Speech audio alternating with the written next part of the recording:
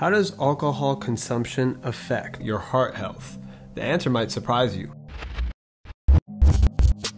Welcome back to the channel, ladies and gentlemen. I'm your host, Dr. Nav Badesha. If you guys enjoy this content, please be sure to click subscribe and give this video a huge thumbs up. It really helps us grow this channel.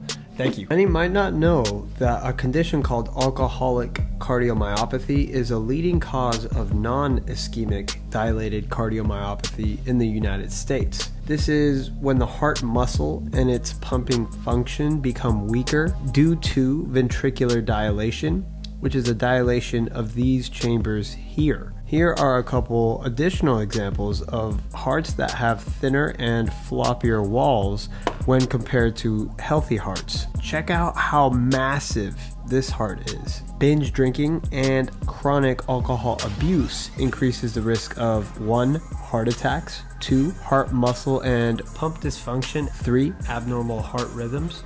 How does the heart become thinner? It's believed to be a combination of increased acetaldehyde accumulation, which is the toxin that's responsible for a hangover, decreased protein synthesis of heart cells, increased inflammation, increased heart cell death from apoptosis, which we discussed last week. All of this in combination is believed to cause the dilated chambers. The majority of guidelines in 2022 now say that no amount of alcohol is safe, especially when you take into account the cancer risk of other organs, the combination of accidents, violence, homelessness, and criminal activity associated with alcohol use. Please leave your questions and comments below, and don't forget to give this video a thumbs up if you learned something new. See you next time.